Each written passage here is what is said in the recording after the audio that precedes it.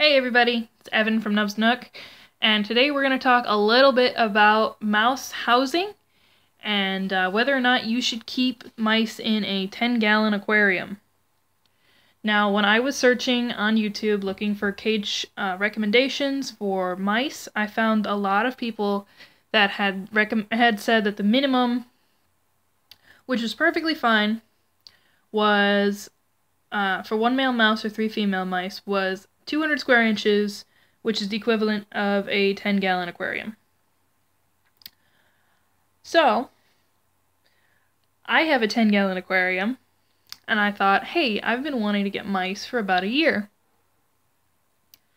And it'll be fine if I keep my one male mouse inside this 10 gallon aquarium. I am starting to rethink that decision right now. Um, and let me tell you why. So, in order to have a mouse, you need a wheel, right? And just like most small animals, you want a flat bottom wheel. Uh, the minimum that I recommend for most small animals is actually an 8.5 inch wheel, which I have one right here. Mine is old, so that's why it's all gross right here. Um, it's also an old wire wheel, which I do not recommend wire wheels at all because they're really bad for your small pets. They can cause lots of foot injuries. Um, I am just using this one temporarily. It is a wire wheel which I have covered in duct tape because my little mouse doesn't seem to be a big chewer. And uh, this will just suffice while I wait for the new flat bottom one to come in the mail. So this is an 8.5 inch wheel. Let me show you, compared to the cage, how that fits in there. It takes up almost a quarter of the cage. I'm just going to set it in here.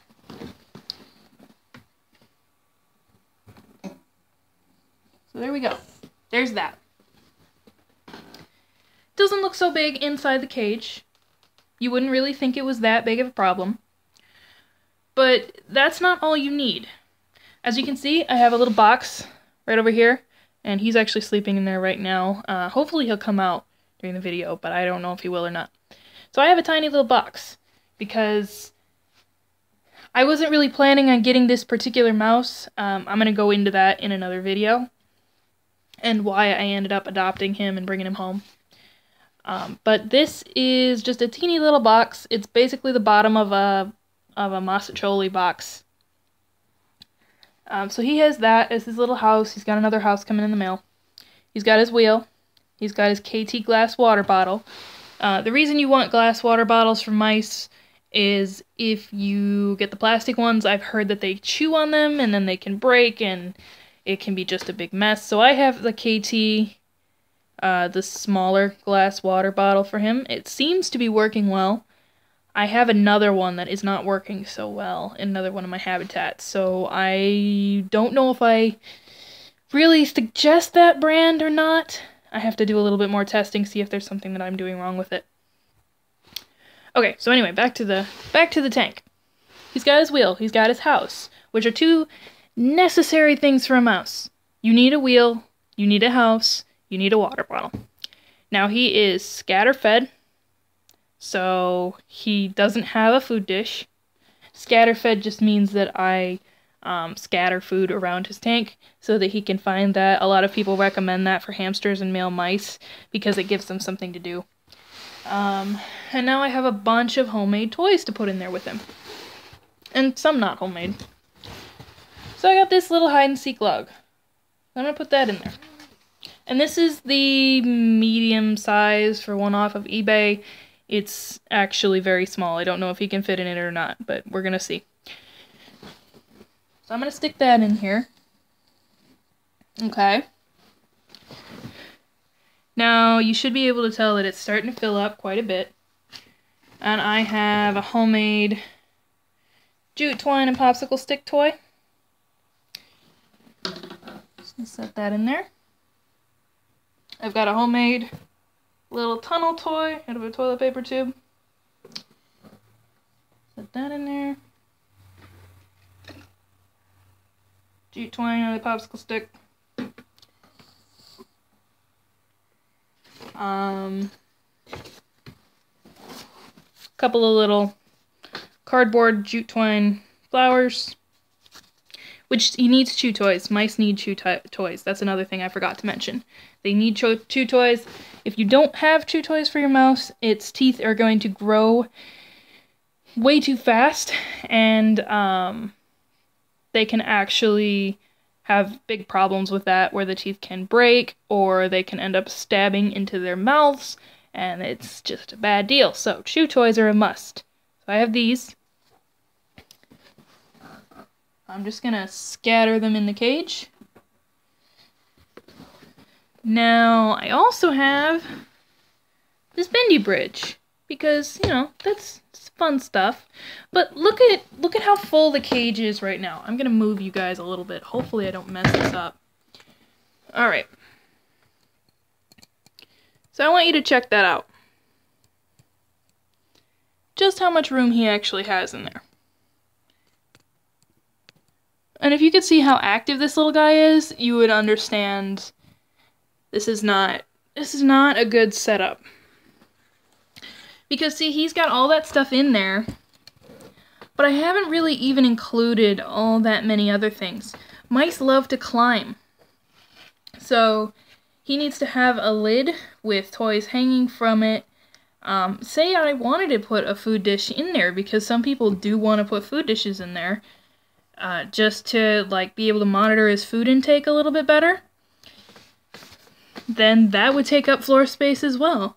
And most hi- hide houses that you get, like the one that I'm I actually ordered because I ordered a set of three off of Amazon. I'll link that in the description.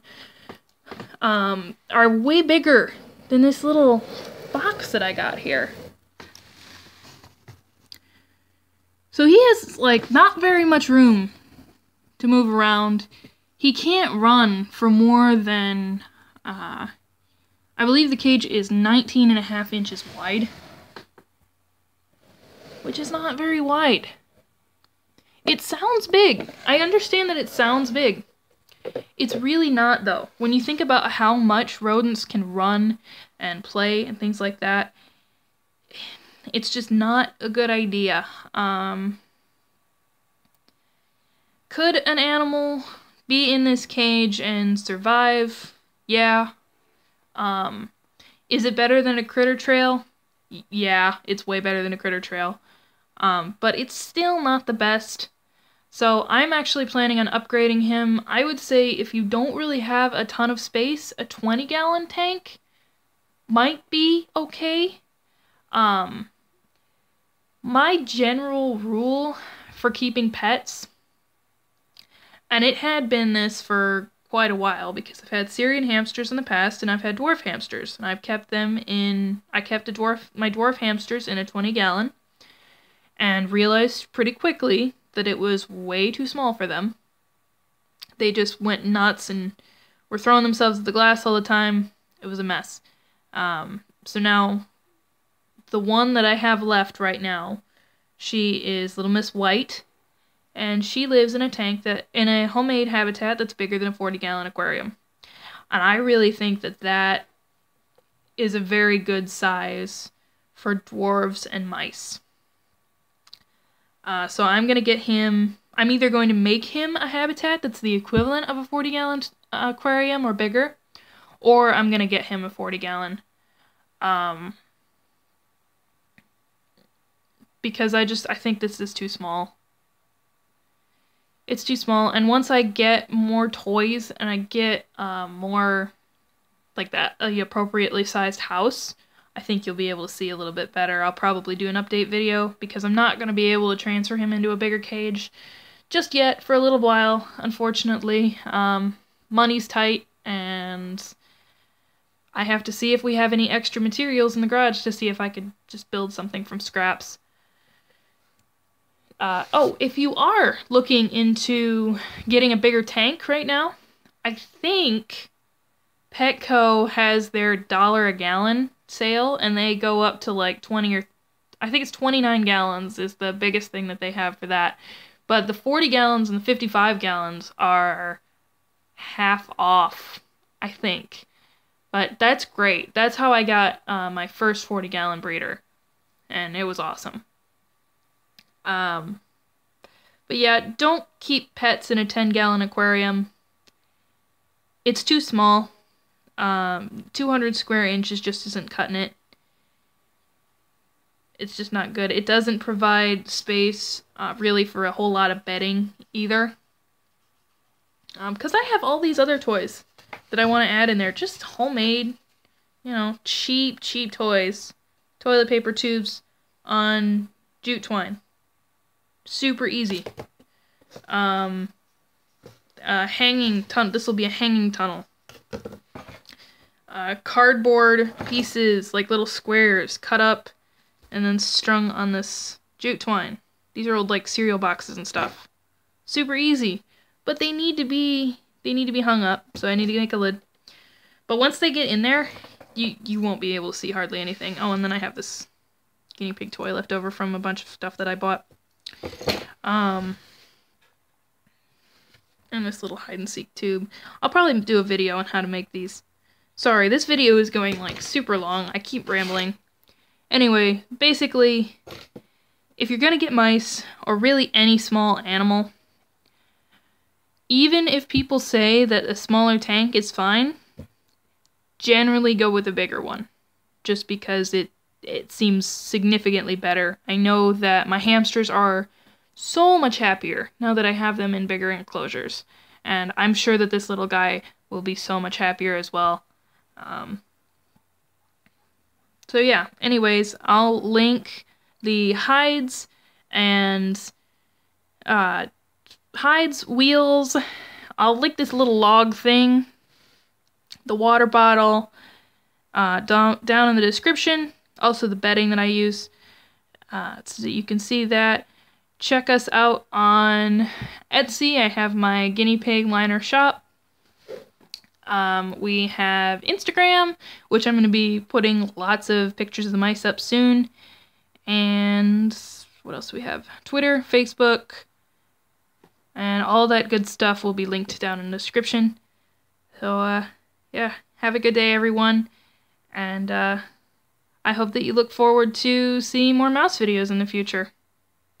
Bye bye, guys.